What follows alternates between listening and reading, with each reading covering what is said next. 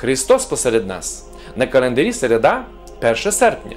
Перебуваючи нині у храмах на божественній літургії, ви зможете долучитись до слухання Євангелія від Матфея, в якому Спаситель говорить: Блаженні ви будете, коли люди зненавидять вас, і коли проженуть вас, і ганьбитимуть, і знеславлять, як зле ім'я ваше за сина людського сина.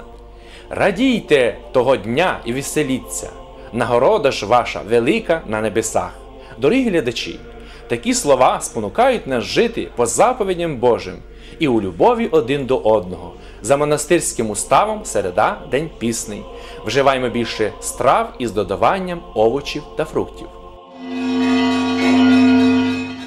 Свята Православна Церква нині почитає преподобну Макріну, сестру святителя Василія Великого, собор Курських святих, а також прославляє віднайдення мощей преподобного Серафима Саровського, чудотворця. Через 70 років після смерті преподобного Серафима у 1903 році відбулося його прославлення. 19 липня, у день народження святого, з великим торжеством були відкриті його мощі і поміщені у приготовану раку. Ще за життя преподобний Серафим стає одним з найулюбленіших святих православного руського народу і закономірно може бути названий учнем Божої Матері. Пресвята Богородиця тричі зцілювала його від смертельних хвороб. Багаторазово була з ним, наставляла і зміцнювала його. Увесь духовний шлях святого відзначений великою скромністю. Проте його подвиги далеко перевершують природні людські можливості. Наприклад, відлюдне життя, мовчання, стовпництво, молитва на камені протягом тисячі днів і ночей.